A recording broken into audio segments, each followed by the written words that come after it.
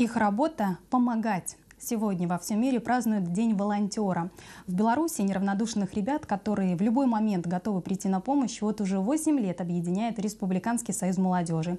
И сегодня в Минске выбирали лучшего представителя волонтерского движения. Репортаж Алены Суровой.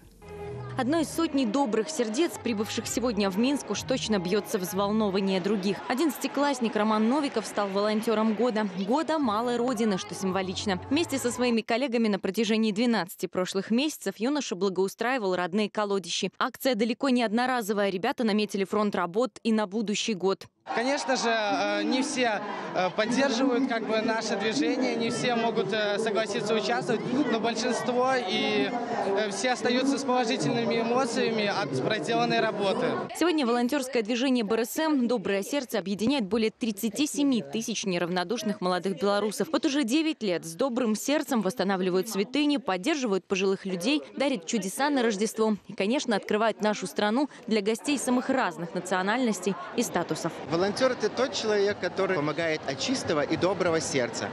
Поэтому сейчас у нас активно идет регистрация на сайте вторых э, европейских игр, да, э, где вот э, есть ссылочка на регистрацию волонтеров. Бойцы сервисных студенческих отрядов будут обеспечивать сервис.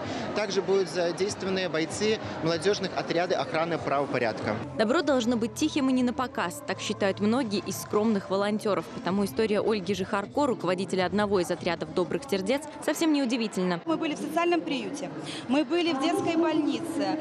Каникул у нас не было. Мы и летом работали, и зимой в любую погоду, в общем, работаем. И вот они так нас снимали на целый репортаж, наверное, на два часа. Ребята из отряда «Рука в руке» вместе с подшефными им глухонемыми друзьями записали альтернативную версию гимна волонтерского движения «Доброе сердце».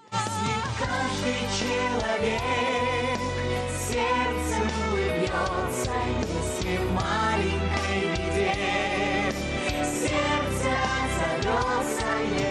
Это самое лучшее подтверждение тому, что нет границ ни возрастных, ни материальных, ни физических. Сердца всегда услышат и поймут друг друга на языке добра. Алена Сырова и Валерий Науменко, телекомпания СТВ.